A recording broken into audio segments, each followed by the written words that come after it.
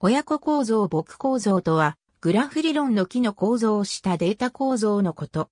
数字的な木の扱いについては、木を参照目構造は、一般のグラフ構造と同様のノードとノード間を結ぶエッジあるいはリンクで表すこともできるが、木構造専用の特に有効の根付き木となるような表現が使われることも多い。データ構造として使われる木は、ほとんどの場合、根となる濃度が決められた根付き木である。さらに、有効期であることも多い。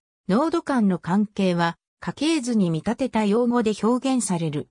木構造内の核濃度は0個以上のコ濃度を持ち、コ濃度は気構造内では下方に存在する。コ濃度を持つ濃度は、コ濃度から見れば親濃度である。ある濃度から見て、同じ親を持つ濃度を兄弟濃度という。ある濃度から見て、そのコ濃度や、そこから、先のコ濃度すべてのいずれかを子孫濃度と呼び、その親濃度や、そこから、先の親濃度のすべてのいずれかを先祖濃度と呼ぶ。濃度は高々一個の親濃度を持つ。根濃度とは、親濃度を持たない濃度のこと。根濃度は、気構造の最上位にある濃度であり、一つの気構造に高々一つしか存在しない。根濃度からスタートして、親から子へ、またその子へ、とエッジを辿っていくと、あらゆる濃度へ必ず到達でき、そのような経路は常に1位である。図で示す場合、根濃度が一番上に描かれるのが普通である。2分ヒープなどの気構造では、根濃度は特別な属性を持つ。木構造内のすべての濃度は、その濃度を頂点とする部分器の根濃度とみなすことができる。波濃度とは、小濃度を持たない濃度のこと。波濃度は、気構造の解の末端にある濃度であり、一つの木に複数存在し得る。内部濃度とは、小濃度を持つ濃度、すなわち波濃度以外の濃度のこと。高さとは、ある濃度について、その濃度からその子孫である波濃度へのエッジ数の最大値のこと。根濃度の高さはその気構造の高さである。深さとは逆に、ある濃度について、その濃度から根濃度までのエッジ数のこと。根濃度の深さは0である。部分器は気構造の一部であり、それ自身も完全な気構造となっている部分を指す。木構造 t の任意の濃度は、その配下の全濃度とともに t の部分器を構成する。根濃度を頂点とする部分器は、その気構造全体と等しい。根濃度以外を頂点とする部分器は、新部分器と呼ばれる。森とは、木の集合のこと。グラフ理論では、森は経路を持たないグラフである。森が順序期の順序集合である場合、これを木の木と考えることで、前順、魔順、語順の操作法を再帰的に定義できる。ある濃度のコノード群の間に順序が存在しない木と、順序が存在する木がある。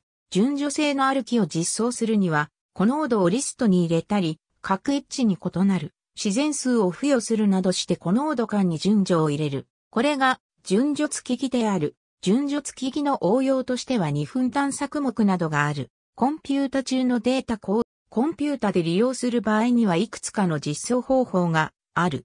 典型的な実装としては、動的メモリ確保で濃度を表す構造体の領域を確保し、ポインタで親濃度や子濃度を参照できるようにする。他にも配列を使った実装などがある。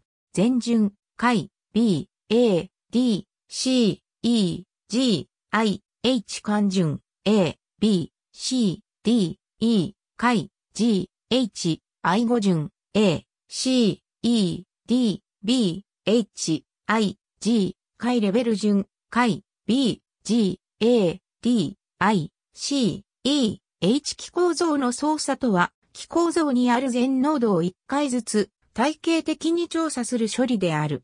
連結リストや一次元の配列のような線形性のあるデータ構造では、操作は普通は前から順番に行われる。木構造の操作には下記の方法などがある。以下のアルゴリズムは2分期に関するものだが、多分期にも応用可能である。深さ優先探索は、現在の濃度を調査し、その子濃度に対して同じことを繰り返す。したがって、再起呼び出しで容易に表現できる。操作法は、濃度を調査する順序によって以下の3つに分類される。前順、先行順、前置順、行きがけ順根濃度を調査する。もしあれば、左の部分器を全順操作する。もしあれば、右の部分器を全順操作する。2分探索儀のコピーを作る際によく利用される。また、数式の構文機からポーランド記法の表現を得るのにも利用される。魔順、中間順、通りがけ順もしあれば、左の部分器を魔順操作する。根濃度を調査する。もしあれば、右の部分器を魔順操作する。多分器では定義されない。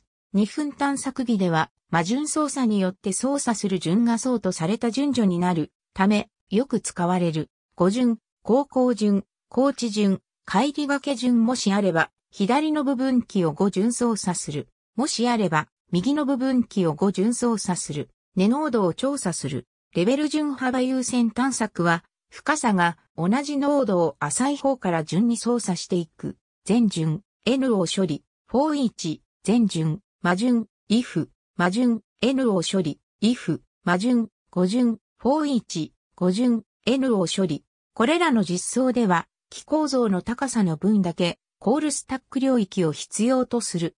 平行が保たれていない木では、これが深刻な問題となる場合もある。各ノードの親ノードの位置を覚えておくことでスタックを使わないようにもできる。下記は、レベル順の疑似コード、レベル順 N を9に追加、ホワイル、N9 から取り出す、N を処理、for each、I を9に追加、糸付きに分岐また、糸付きに分岐を使う方法もある。